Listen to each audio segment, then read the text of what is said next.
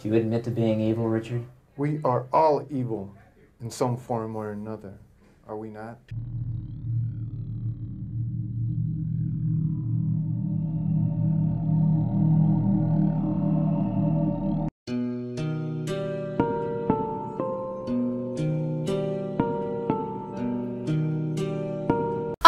Amores, ¿cómo están el día de hoy? Espero que hoy se encuentren súper, pero súper, pero súper, pero súper, pero súper bien. El día de hoy les traigo un video súper cool, como siempre. Como vieron en el título, ustedes más o menos ya deben saber de qué es lo que les voy a hablar el día de hoy. Y como les dije en el video anterior, yo les voy a compensar el hecho de que no les había subido video la semana pasada. Antes de comenzar a hablar aquí como una loca, quiero recordarles que por favor le den like a este video, se suscriban aquí abajo en el botón rojo y no olviden comentarme cositas muy bonitas como ustedes siempre lo hacen. Tampoco olviden que les voy a dejar mis redes sociales a lo largo de este video para que vayan y me den amor durante toda, pero toda, pero toda la semana. Una cosa que también quiero recordarles es que cuando lleguemos a los 10.000 suscriptores aquí en mi canal de YouTube voy a hacer el sorteo de regreso a clases, así que compartan mis videos para que más gente los vea, más gente se suscriba, pueda hacer yo el sorteo más rápido y así seamos más personitas en esta hermosa familia de cosas paranormales. Y bueno, ahora sin más nada que decirles, vamos a comenzar con este video.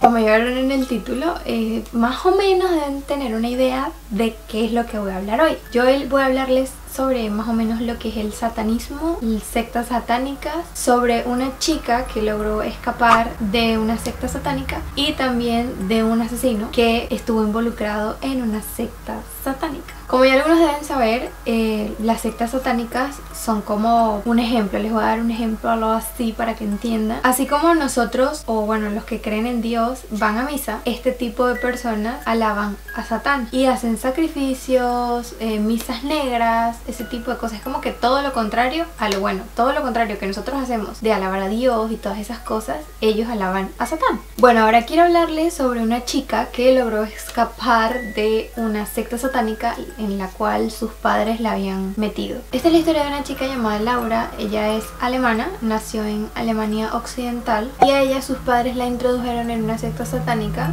Ella pues logró escapar, después de un tiempo ella como que se las arregló y logró escapar de esta secta. Resulta que el padre de Laura estaba ya pues en esa secta satánica y era como uno de los más respetados de la secta y por lo tanto cuando ella nació él empezó como a entrenarla desde muy chiquita para que ella cumpliera todos los requisitos y estuviera dentro de esta secta. Se suponía que al estar ella dentro de este círculo oscuro, ella tenía que aguantarlo absolutamente todo, sin quejarse, sin sentir dolor, sin nada. Ella no podía gritar, o sea, ella tenía que, resistirse a todo lo que le hicieran y aguantarlo. Ella tampoco tenía permitido decirle a otras personas lo que le estaba pasando dentro del círculo. O sea, si no eran personas dentro del círculo, ella no podía decirle nada a nadie. Se suponía que esto lo hacían porque era como que el poder superior se los estaba ordenando y ellos tenían que hacer lo que el poder superior quisiera. Este poder superior del que anteriormente les hablé es Satanás, o sea, el poder de Satanás. Y ella tenía que aguantar todo lo que ellos le hicieran a ella. Ella tenía que aceptar dolor, torturas, violaciones y todo esto en nombre de Satanás. ¿Qué pasa? Que ella también tenía que llevar una vida totalmente normal fuera de esta secta, de este círculo, ella tenía que llevar una vida totalmente normal. Ella tenía que obedecer a todos los hombres del círculo y ella tuvo que prostituirse. Cuando ella se empezó a prostituir, el círculo empezó a decir que ellos, pues es el poder superior, tenía que tener dinero. Entonces ellos mismos, dentro de la secta satánica, eligieron los clientes para que ella se prostituyera. Laura contó que dentro de esta secta satánica le practicaban abortos a mujeres para sacrificios, también mataban niños, robaban bebés y también los sacrificaban para dárselos a Satanás. Laura sufrió muchísimas violaciones, muchísimas torturas, muchísimo dolor dentro de esta secta satánica, pero el momento en el que ella decidió totalmente salirse de esto a como de lugar fue cuando ella se vio obligada a tener un bebé para el círculo satánico. Ahí fue cuando ella se dio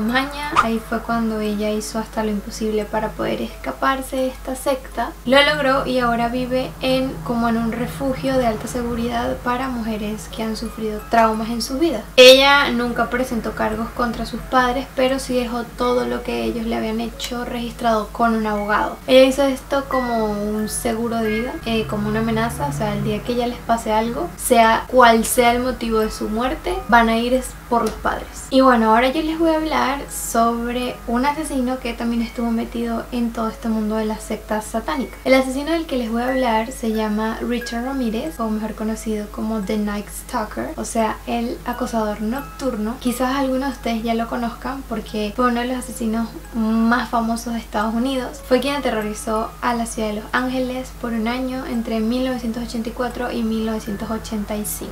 Richard Ramírez nació en la ciudad de Texas, Estados Unidos, el 29 de febrero de 1960 y falleció el 7 de junio de 2013. La vida delictiva de este hombre empezó desde que estaba muy pequeño, como la gran mayoría pues de este tipo de asesinos en serie. Él pues no tuvo ni una infancia ni una adolescencia nada fácil, empezó a robar desde muy pequeño, empezó a consumir drogas también desde muy pequeño. Su vida no fue para nada fácil, como ya les dije. Él se mudó desde Texas hasta Los Ángeles y en Los Ángeles fue donde empezó su vida ya de asesinatos. El, tanto la policía como el FBI coinciden en que Richard no fue un asesino común. Porque es que ninguno de sus asesinatos coincidían. O sea, ninguno de sus asesinatos tenían algo parecido. Todos eran diferentes. Él no seleccionaba a sus víctimas, no les importaba ni el sexo ni la edad. Mató hombres y mujeres entre los 16 y los 84 años. Y como ya les dije, él no siguió como un patrón para poder asesinar a estas personas. Algunas veces les disparaba, otras veces simplemente las hacía morir a punta de batazos con un bate de béisbol. Otras veces las acuchillaba. O sea, lo que les naciera en el momento.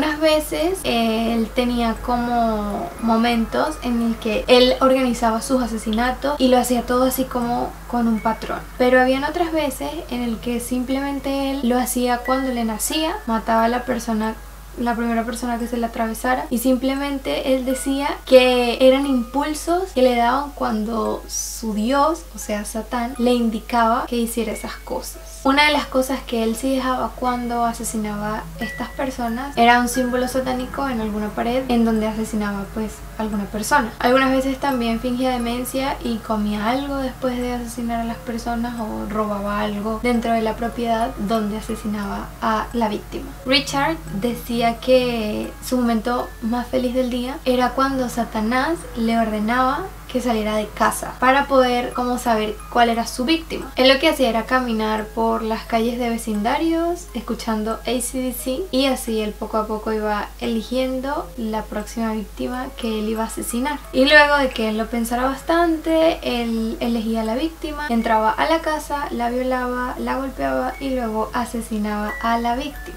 Al principio de todo esto, él lo que hacía era golpear y torturar y violar a sus víctimas. Algunas también luego las asesinaba, pero habían otras personas a las que él dejaba vivas. Hasta que empezó a pasar el tiempo y él como que se empezó a volver más cruel. Ya cada víctima que pasaba por él la asesinaba y luego de asesinarlas las mutilaba. Uno de los peores asesinatos de Richard fue el de una joven a la que luego de haber violado y torturado le sacó los ojos y luego de sacarle los ojos fue que la apuñaló y la envió como al sitio, a la escena del crimen. Él durante el juicio contó esa historia y él se reía y decía que ella estaba viva mientras él le sacaba los ojos. Él decía que Satanás jamás lo iba a desproteger, que él estaba protegido por el poder de su dios Satanás y que él iba a ser imparable. Sin embargo, en agosto de 1985 fue detenido por la policía de Los Ángeles. Uno de los errores, por así decirlo, que cometió Richard al principio de todo este dilema de ser asesino en serie, como ya les dije, él a alguna de sus víctimas no las asesinaba. Entonces esto hizo que algunas de sus víctimas pudieran describirlo. Los policías hicieron un retrato de él y lo publicaron por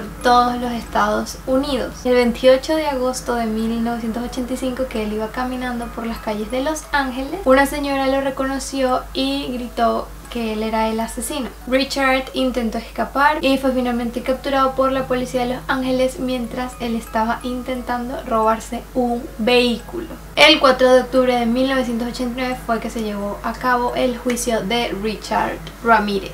Richard fue acusado de 14 asesinatos, 5 intentos de asesinato, 9 violaciones, entre las violaciones violó menores de edad, 2 secuestros, 4 actos de sodomía, 2 felaciones forzadas, 5 robos y 14 allanamientos de morada. Y bueno mis amores, esta fue la historia de Laura que logró escapar de una secta satánica y de uno de los asesinos más conocidos de Estados Unidos llamado Richard Ramírez o el Mike Stalker, acosador nocturno. Espero que les haya gustado muchísimo este video, de verdad me gustó mucho hablar sobre este tema, si quieren que les hable un poquito más de este tipo de cosas, déjenmelo aquí abajito en los comentarios. Y quiero decirles que me han estado pidiendo bastante en los comentarios que hable sobre los Illuminatis. Si el comentario que voy a dejar fijado aquí en la parte de abajo del video llega a 150 likes, el próximo video, o sea el video del próximo miércoles va a ser sobre los Illuminatis y todo este tipo de cosas. Espero que les haya gustado, como ya les dije, les mando muchísimos, pero muchísimos pero muchísimos besos intergalácticos y de caramelo. Y ya saben que nos vemos en un próximo video. Bye.